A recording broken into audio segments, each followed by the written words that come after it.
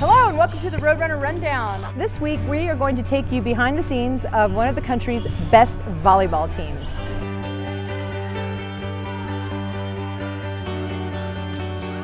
All right, so I'm here with Coach Jenny Glenn, and we are number two in the country this year. We are. After winning 24 straight matches last year. Yeah. So how do you do it, man? What's your secret? What's yeah. your coaching secret to success? I don't know that there's a secret. There's just a lot of things that go into it. You know, in our program we have six pillars, so we live by those pillars: integrity, communication, perfect effort, growth mindset, growing together, and love and respect the game. So we know exactly what we're doing as a program, and each one of those pieces plays into it.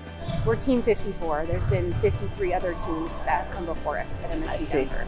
And so Team 54 has its own story, but we also have the opportunity. You know, we have a lot of tradition in this program, but we also have the opportunity to leave the Jersey in a better place than we got it. I so see. I see. Whether that's how we influence the community, how we influence the university, um, how we influence each other, you know, or yeah. just by winning volleyball matches, but also it's bigger than just winning volleyball matches. Yeah, but winning is good. Winning is really yeah, good. winning really is really good. Yeah. but speaking of off the court, yeah. your team also has an amazing average GPA, something like 3.5, yeah.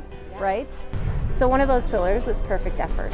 So this is the idea we can't always have perfect performance, but we can have perfect effort. And so we feel like excellence and effort is not mutually exclusive, whether that's on a volleyball court or in the classroom. Sure. So if that's one of our pillars, we're going to give our best in the classroom, we're going to give our best on the volleyball court. All right, so we're here with one of our star players, Ember Canty.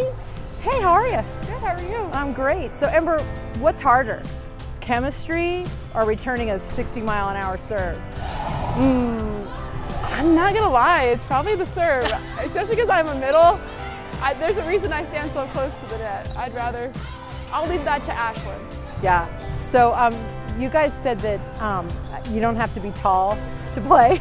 but you're pretty tall. But really, is that true? You don't have to be tall to play. Yeah, you should be athletic and like just being able to like be aggressive and powerful with it. It's more of like your spirit behind it and are you willing to like work through hard things.